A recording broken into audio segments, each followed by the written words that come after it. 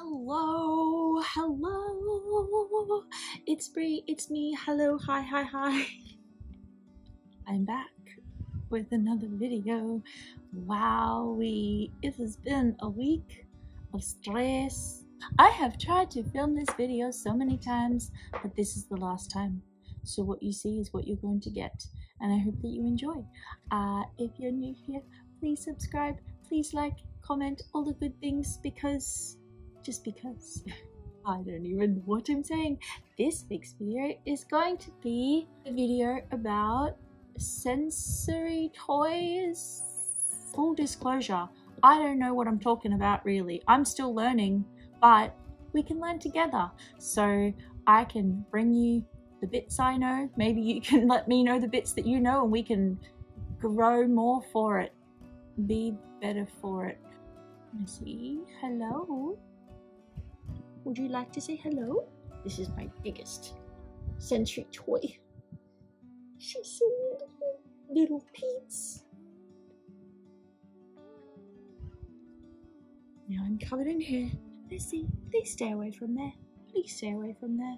What was I talking about? The reason I wanted to do this video was because I have done one before and it was a long time ago and I still didn't really understand much about it, uh, about sensory toys and why we use them.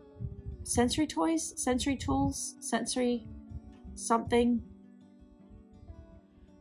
I don't know, but I'm making a new one because I think I have a bit better of a understanding of why it's useful for me and why other people find it useful and how everybody's preferences, sensory seeking, sensory avoidant behaviors are different and why there's like no wrong and right and like the uh, different. I, I, as I've said previously, I speak and then I forget what I've said. So if I repeat myself, I apologize. Not really. I'm not really sorry. It's just I can't help it. But yeah, obviously over like the last maybe 10 years, like sensory items and toys and products and things have just really popped off and for good reason. I can still vividly remember the first time that my now psychologist came into see me. I was in a part of the hospital where you just like, kept a little bit closer eye on eye on closer eye on you had a you have a closer eye on you just because you're having a hard time and she came in with like this box of goodies and she like placed uh, like an ice pack in front of me and I th- threw it back at her because I don't like wet cold things but the purpose of the wet cold thing was to ground me and bring me back to the present and I have learned that that is essential and important but I hated it at the time. I've, I've come a long way with the use of ice packs. They are actually for me very very helpful and I will talk about why that is. So, my understanding for sensory items obviously, they're extremely helpful for people that have autism or ADHD, also people that have PTSD or complex PTSD, and like other mental health issues like anxiety and depression. And the list goes on. There is like no limit to the list of individuals that sensory items are helpful for. We all have sensory preferences and sensory needs, and it's just about figuring out what's right for us. And you don't necessarily have to be neurodivergent or something to want to use a sensory item. So I'm not like an OT or anything like that. So I'm just going to give my very layman's understanding of my sensory preferences and whatever that may not work for you but it works for me and it's taken a very long time and a lot of help from like my psychologist and actually an OT to kind of figure out what works best for me. Sorry, I'm just watching Nessie in a very precarious part of my house that I wish that she wasn't in. Nessie, what are you doing up there?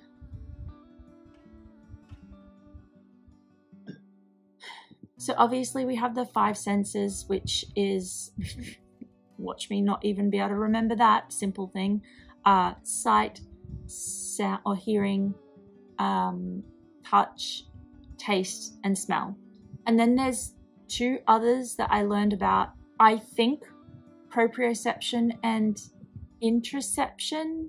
So I pulled up the definition of proprioception and interoception on Google. Says proprioception in brackets, body awareness and position in space around us, and vestibular awareness, our movement, balance, and coordination. And then interoception, our internal sensory systems that tell us what is happening inside our body hunger, needing the toilet, fatigue, emotions. It blew my mind when I learned about these two things. Uh, just because they have are definitely ones that impact me a lot, both from a like neurodivergent side of things and then also a complex PTSD side of things. It's really complicated and the waters are murky when those two things overlap and someone is dealing with both. But um, I won't get into that a lot today. But yeah, I just am going to talk about some of my toys. That toys. I, I don't know why I giggle every time. It's so funny. So anyway, we're going to start with some of my stimulating ones, ones that help with anxiety and help with when I'm feeling like agitated or on edge or just need to, I don't know. I, you'll see when when I use them, but I do want to say that some people will some people don't like the ones that I like and some people also use them for different purposes. I know that some um, items that I use often people use to actually calm themselves down or ground themselves and it's like just so interesting how everyone is so different so first we have this one. Uh, this is just a little hand rolly one. Uh, much enjoyment. Excuse the uh, nail situation. I love these ones. Apparently they come like with different weights. I just like the light 100 gram one just because it's easy for my hands to do the thing. But I imagine that other people like different it just is easy for my hand to do the roly thing. I don't even know. It's not a lot of effort. I'm lazy. What can I say? they definitely come in different colors. Any ones that I have, I'll try to like link in the description just because I've got to share the goods, I suppose. Another one I have is this little ring thing. I have a bunch of these just lying around my house and in my bag and everything, but it's very spiky. Obviously, it's a spiky ring. I have a lot of fun with this one. You know, the whole like when you go for a massage, I don't really know when people say it hurts so good. I find this is like that. It hurts so good that it's like helpful and stimulating, but actually also grounding. But I don't use this for uh, grounding and bringing myself back to the present and all of that because I have other tools that help me with that. This like little, I think it's called a Shishu cube. Shishu, I don't know. I'll, I'll also link this one in the description. All of this is not sponsored by the way. I just, these are the ones I have in my backyard on my coffee table. And I can't say I'm a huge fan of this one because I'm still getting the hang of it. And is effort for my brain to figure it out. I don't know why. It's really not that hard, but it's hard for me, okay? It's like I have to concentrate on it, which when I'm like a passenger in a car or on the bus, if you could get me on the bus, it's just nice. Just the click clacky is nice too. But yeah, this is cool. I like this, but I'm still just not sure. Figuring it out. Uh, here's a NeeDoh, a NeeDoh cube. I love this one. It gets dirty, fluffy, things stick on it, but it's not too bad compared to other ones that I've had that are squishy like this. And again, really helpful for just keeping my hands busy. It's a bit of a pink theme going on today with my, my little sensory situations. I actually went to pink the other night and oh my gosh, Oh my gosh, she was amazing. But yes, this one's good. I don't have to concentrate so much with this one. Yes, I don't know why the Shishu Cube is so hard for me to just, you know, like I feel like I'm playing a video game. That's how much my brain has to think when I'm doing this. can't even talk to you while I'm doing it. Favorite of mine, but I break them all of the time. I break them so often. It's called a Whooshie. They're from Kmart. But oh my gosh. It's just this the sound and this the, it looks so pretty. And I find these ones hold up a little bit better. I used to have pink ones, funnily enough, but those ones kept breaking. And I don't know if it's because I don't know if it was because there was like an air bubble in it or what was going on, but how good. Oh my god, this one makes me so happy. Okay, relax. Speaking of Kmart, I have this one. Uh, I was at uni one day and I was kind of like tearing the skin off of my fingers and a girl leaned over and she was like do you want to borrow a sensory toy and she like handed me this 3d printed yellow click clacky i call it a click clacky because i don't know what uh, i called that one a click clacky but this one is a click clacky like capitals uh and I just sat there the whole time and I was like, this also doesn't require me to think as hard. I feel like this is like a step down from my brain cell having to think. And then this one is like a step down from even further. No, maybe this one. This one is a step down further. Uh, but you get the vibes. Anyway, she was like, I can get my friend to 3D print you one. And I ended up finding this at Kmart. And I was like, oh, you were so amazing. But I ended up finding one because uh, she said it might have, it was going to take a couple of weeks. And I was like, I need this. But I was worried that it was like going to be too noisy when I was at uni. I, I said to her, oh, it's a bit noisy, I'm sorry. And she's like, it just sounds like you're typing. I don't know about that, but it's under the desk usually. I mean, one of, there, there are worse noises that people can make at uni, that's for sure. Another favorite of mine is this. I don't know what it's called. I know it's from Big W. They glow in the dark and they're fun. I don't know. Ones I showed you the Whooshie, the NeeDoh Cube, Click Clacky Capitals, and Roller are currently my favorites. My friend gave me this little dinosaur and it's just nice to hold and to feel. This is actually 3, 3D printed.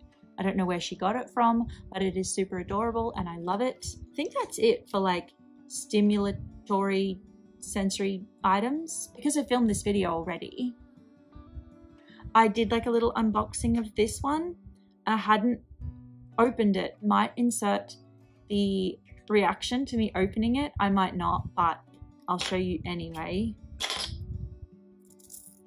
Oh, oh my gosh. I don't even need to insert my reaction. This is, this is very cool. I feel like this is going to be a new favorite, uh, but I just love doing this with my hands. I don't know why, but it just calms me so much.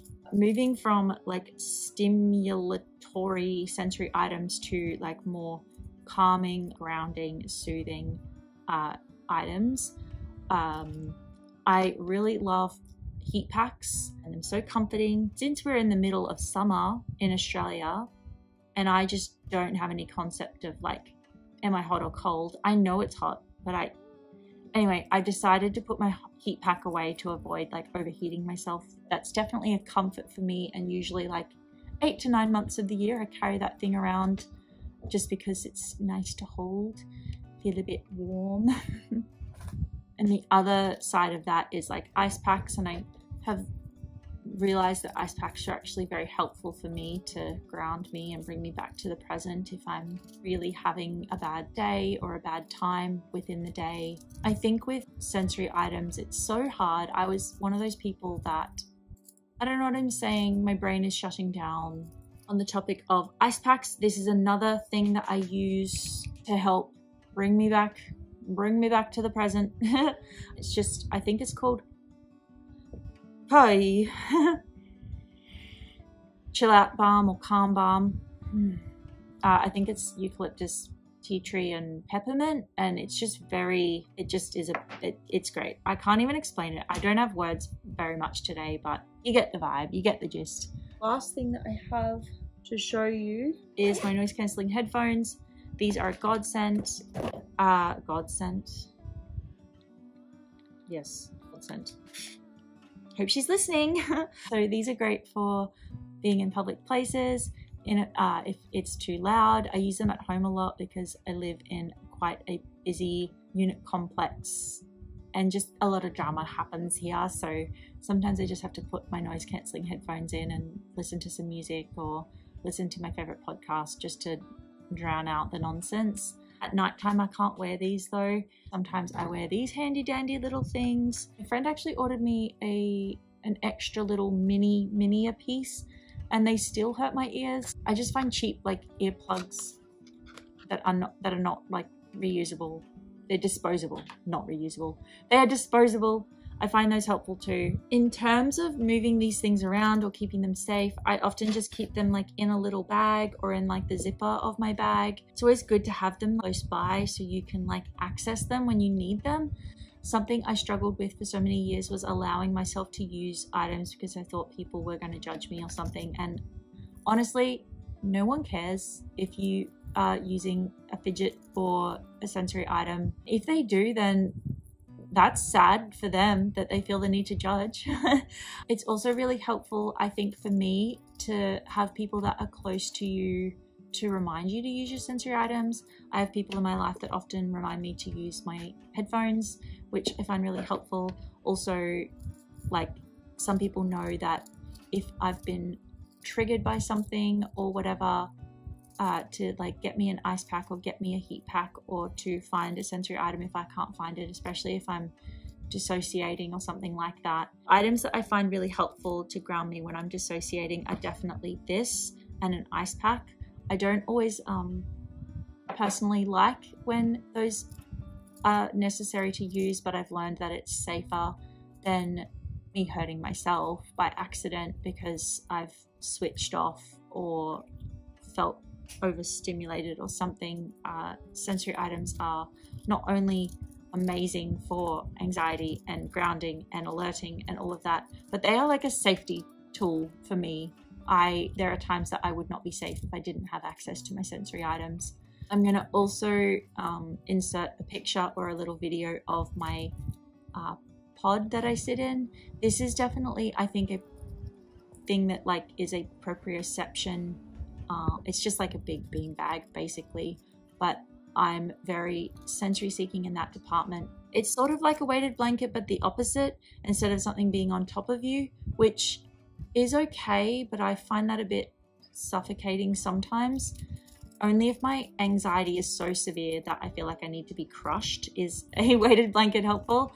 Uh, but my pod is more like it's hugging me. Like from like around and that to me is like a big comfort. I am someone that if i get a hug from someone i want you to like mm, always ask anyone before hugging them. Other things that I, I just kind of springing to my mind now another thing that i really enjoy is like driving in the car and that sensation of like driving. I don't know what it is scientifically. Uh but the pressure of like my body in the chair and movement. I'm very prone to car sickness, but that's another separate, irrelevant fact about me. I only really like when I'm driving, but it's okay to be a passenger too. I just need to make sure I look out the window. Things like that as well. Similar, I like going on rides at a theme park or something are really fun for me and I enjoy, but I know other people don't enjoy it. So, and that's okay. If you have any questions about any of my sensory toys, please let me know. If you have any suggestions of toys that you enjoy using, also please comment them down below because I am always on the hunt for something new and fun to fidget with. Uh, yeah, I always want to try and like help people out and do the right thing, but also sometimes the information I have or the things that I like aren't helpful for other people, and that's okay. We're all different, and that's what makes us special and unique and awesome. If you liked this video, please give me a like, thumbs up. I think I I always do like a little dance. Subscribe if you want to see more videos from me. I put out new videos usually every Sunday, sometimes on a Monday because girly got to rest. I've got to get my sleepies in, and usually that happens on the weekend. I think that's it. I hope you have a lovely week, and I will see you all in the next video. Bye. Serve your time like you wasted.